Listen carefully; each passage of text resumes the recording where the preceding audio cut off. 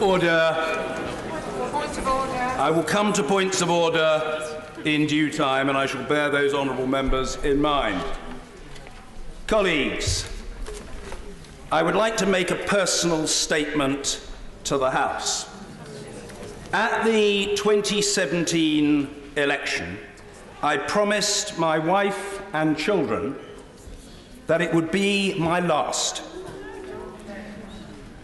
This is a pledge that I intend to keep.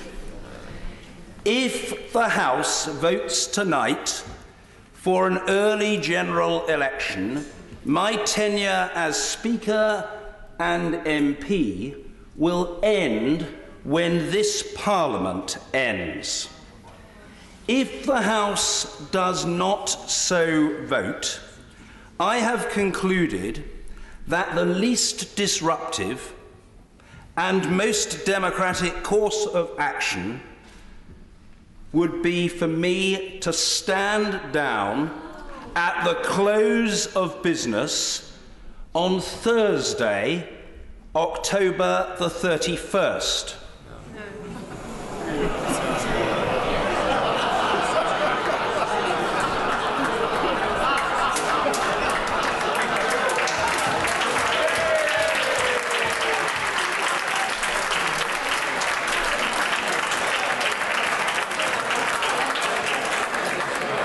Least disruptive because that date will fall shortly after the votes on the Queen's speech expected on 21st and 22nd October. The week or so after that may be quite lively, and it would be best to have an experienced figure in the chair for that short period. Most democratic because it will mean that a ballot is held when all members have some knowledge of the candidates.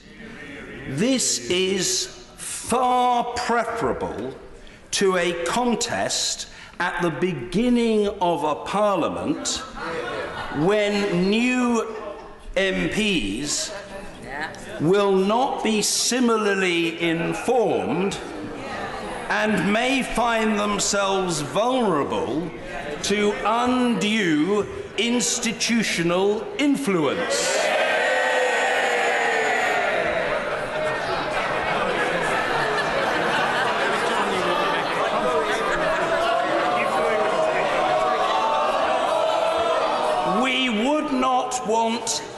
Anyone to be whipped senseless, would we? No. Throughout my time as Speaker, I have sought to increase the relative authority of this legislature, for which I will make absolutely no apology to anyone, anywhere, at any time. To deploy a perhaps dangerous phrase, I have also sought to be the backbencher's backstop. I could not do so without the support of a small but superb team in Speaker's House, the wider House staff, my Buckingham constituents, and above all, my wife Sally, and our three children, Oliver, Freddie, and Jemima.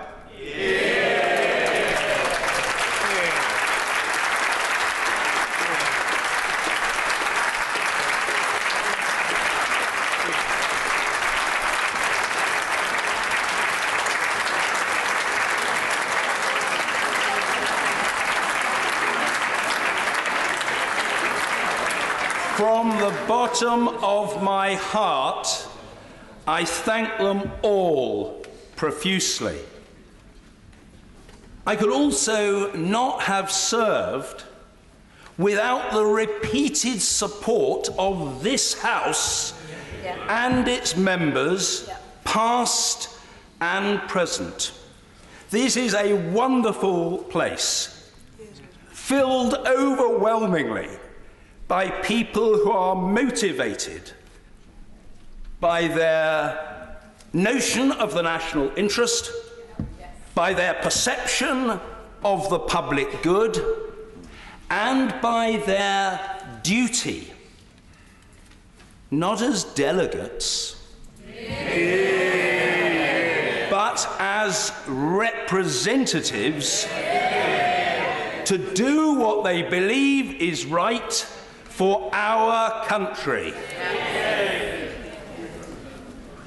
We degrade this Parliament at our peril.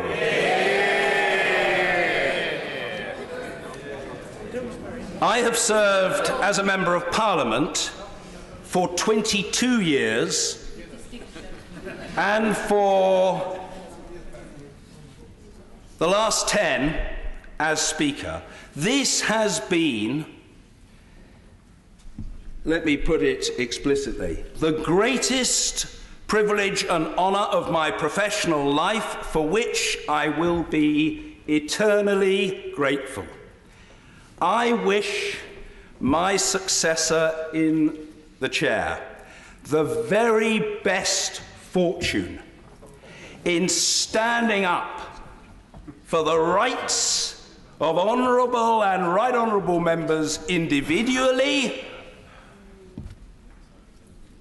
and for Parliament institutionally as the Speaker of the House of Commons.